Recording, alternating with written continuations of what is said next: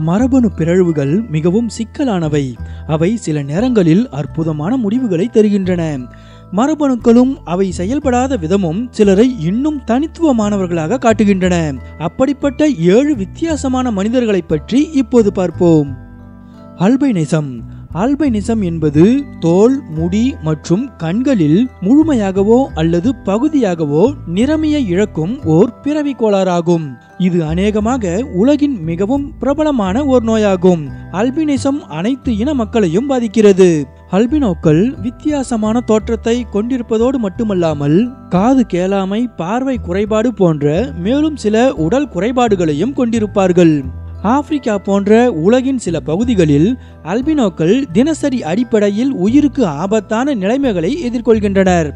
ஏனெனில் சில ஆப்பிரிக்க மக்கள் அல்பினோக்களை பிடித்து வந்து அவர்களது உடல் பாகங்களை மாந்திரீகத்திற்கு பயன்படுத்தினால் அதிர்ஷ்டத்தையும் செழிப்பையும் பெறலாம் என்று நம்புகிறார்கள். சில நேரங்களில் அல்பினோக்களின் விசித்திர தோற்றம் அவர்களது வாழ்க்கையோடு விளையாடி விடுகிறது பைபால்டிசம் பைபால்டிசம் என்பது ஓர் மரபணு கோளாறாகும். ஒருவர் பிறக்கும் போதே அவரது தோல் அல்லது முடியின் ஒரு பகுதி நிறமியை இழந்து வெள்ளையாக காட்சியளிக்கும். கண் தோல் மற்றும் முடியின் நிறத்தை தீர்மானிக்கும் செல்கள் பைபால்டிசத்தால் பாதிக்கப்பட்டவர்களின் உடலில் சில பகுதிகளில் மட்டும் இருக்காது. இந்த செல்கள் மெலனோசைட்டுகள் என்று அழைக்கப்படுகின்றன. பாதிக்கப்பட்டவர்களில் கிட்டத்தட்ட தொண்ணூறு சதவீதம் பேருக்கு பைபால்டிசம் நிலையின் பாதிப்பு நெற்றியிலும் நெற்றிக்கு மேல் முடியிலும் தான் இருக்கும். நெற்றியில் தலைகீழ் முக்கோண வடிவில் மற்றும் நெற்றியின் மேல் உள்ள முடிக்கற்றை நிறமியை இழந்து வெள்ளையாக காட்சியளிக்கும்.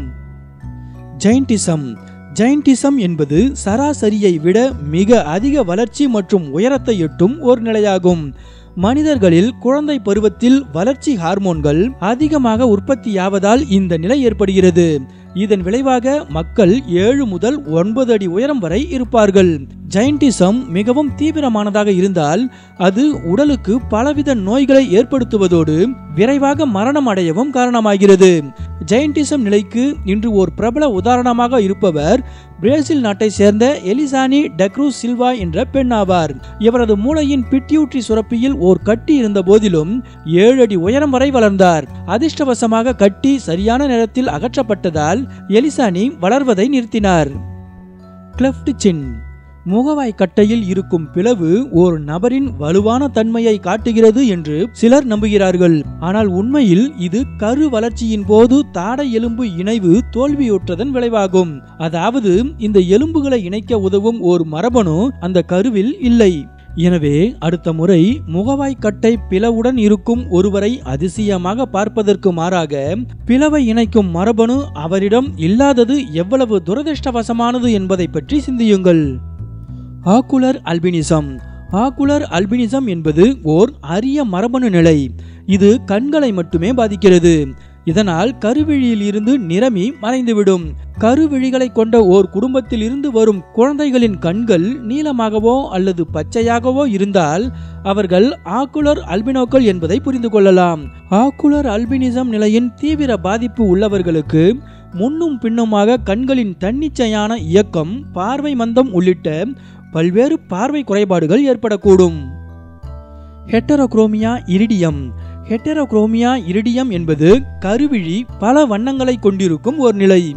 இது மரபணு நிலையின் ஒரு பகுதியாக இருக்கலாம் அல்லது கண் அறுவை சிகிச்சைக்கு பின்னர் கருவிழி நரம்பில் ஏற்படும் வளர்ச்சி காரணமாகவும் இருக்கலாம். சில சந்தர்ப்பங்களில் ஒரு கண்ணில் கருவிழியின் நிறம் மற்ற கண்ணிலிருந்து வேறுபடலாம். உதாரணமாக ஒரு கண் நீளமாகவும் மற்றொரு கண் பழுப்பு நிறத்திலும் இருக்கலாம். பொதுவாக ஹெட்டரோக்ரோமியா இரிடியம் பாதிப்பில்லாதது மற்றும் சிகிச்சை எதுவும் தேவையில்லை. Waardenburg syndrome. வார்டன்பர்க் சிண்ட்ரோம் என்பது மனித மரபணுவில் ஏற்படும் ஓர் பிறழ்வு ஆகும். இதன் விளைவாக ஒரு நபரின் கண்கள் நீல நிறமாக இருக்கும். மேலும் காது கேளாமை மற்றும் பிற உடல்நல கோளாறுகளும் இருக்கும். இந்த நோய்க்கு சிகிச்சைகள் ஏதும் இல்லை. மேலும் இது போன்ற தகவல்களை தெரிந்து கொள்ள எஸ்எஸ்டிவி தமிழ் சேனலுக்கு சப்ஸ்கிரைப் பண்ணுங்க.